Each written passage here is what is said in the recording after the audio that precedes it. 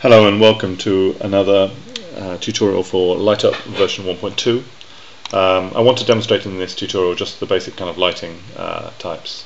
So if I get um, a table and chairs, one of the standard components from SketchUp and put it down and just um, click on Tour Tool, what I get is the default lighting which in LightUp is using the sun. So there we have it, um, that's the lighting. Uh, you can see the shadow of the wall and some pretty indistinct shadows here. So I'm just going to open preferences uh, and we'll just increase the resolution of the lighting and recalculate it. So that's a little better. Um, so you can see quite clearly here um, these shadows of the uh, chairs on the floor and also some uh, of the sunlight is being filtered by this blue glass table. Okay, let's uncheck use sun and demonstrate some point lights. LightUp adds some custom components to your model. Um, you can put these in your model around your model and um, you'll get uh, point lights. They'll be picked up by, by LightUp. So I put one right above the um, table. I click Tour Tool and what I get here is um, uh, the light coming down, you can see it very clearly being filtered by the glass, blue glass table, uh, but being lit by a single white light.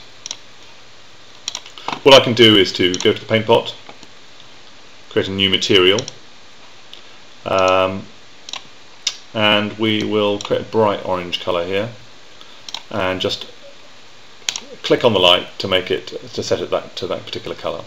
Uh, I can check that by just doing the entity info, and yes, indeed, it's uh, an orange colour. So now if I relight, what I'll get is um, everything lit with a single point orange light. And there we have it. Um, okay, let's just get rid of that uh, point light. And lastly, I just want to show um, if I just create a shape on the wall I get the paint pot and I'm just going to um, paint a little orange uh, area light. Now what I'm going to do is add some markup to tell uh, LightUp that this particular material is an emitting material. So underscore LightUp and then some keywords here emitter sets this to be a, um, a material that emits orange light. Um, I might just uh, reduce the resolution just a little here.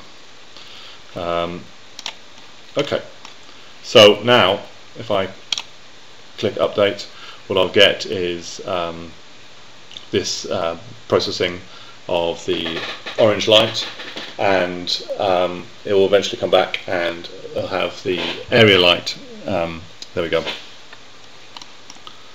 with the table.